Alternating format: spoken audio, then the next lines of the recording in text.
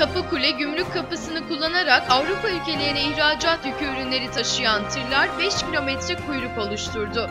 Bulgaristan tarafındaki Kaptan Andreova gümrük kapısında devam eden modernizasyon çalışmaları nedeniyle Kapıkule gümrük kapısı yolunda bekleyen yaklaşık 200 tır 5 kilometre kuyruk oluşturdu. Avrupa'ya ihracat ürünleri taşıyan tır sürücüleri yaklaşık 12 saattir kuyrukta beklediklerini belirterek duruma tepki gösterdi. Trakya Gümrük ve Ticaret Bölge Müdürlüğü yetkilileri Bulgaristan tarafındaki inşaat çalışmaları nedeniyle işlemlerin yavaş yürüdüğünü söyledi.